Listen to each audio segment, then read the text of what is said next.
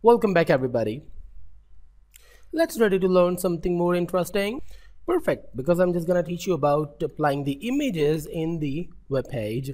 So let's just start working on the image. So for inserting the image, there is a tag img. Okay, img is a short from the image, but two, this is a tag. And an interesting thing is this is the empty tag. Okay, so basically this is the image tag. But one thing more I just want to teach you in this class that there are some kind of attributes which is called the fixed attributes okay? Means the attributes which must be inside the tag to run the tag. For example here if you just want to show the image so you have to type the src attribute the source attribute okay? Which is really really necessary. Basically the fixed attribute it is. The equal sign and the two single or double quotes and now put the path of the image.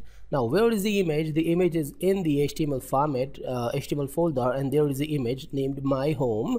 Okay? Well this is the image. Interestingly this image is created by me because uh, um, I'm the passionate in 3d works basically. So by the way this this home is created by me and I'm just uh, going to attach this home the name of my home but something more you must know before attaching the image to the web page. Let's go to the file. And what is the what is the type of the file? The type is .jpg don't forget this okay? The image format the now my home .jpg okay?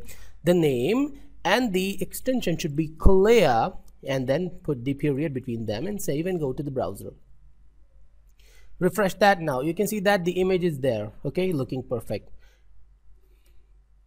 But I'm just going back to the notepad and here I'm just using something more like the width attribute width now exactly I think you can understand that what the width attribute can do. I'm just putting here the 300 px well right now I'm just putting the 300 not the px refresh now. The size of the width is 300 and the height adjusted automatically but I can put the height to set the height forcibly. So there I'm just typing I'm just putting the height as 500 now save and go back and refresh now. You can see that the height is uh, around uh, 500 and the width is only 300 so we should put the height or the width only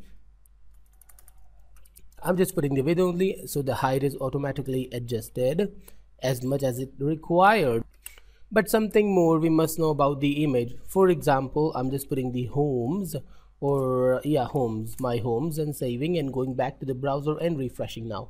Where is the image? There is a simple logo which is clearing that there is the image tag but no image or image is missing. Now the image name is perfect but I'm just putting the PNG format. However the real format is JPG so go back to the notepad and refresh. It's still it's there is a problem. So in this case we can put the alt attribute. What the alt attribute can do here i'm just typing this is the image of my home. Save and go back to the browser and refresh now. This is the image of my home. However there isn't any image but the concept is clearing that this is the image of my home. But if you just clear up the name of the image jpg now everything is fine. So refresh now. There is no alter tag. The alt tag you can see. But it's really worthful still.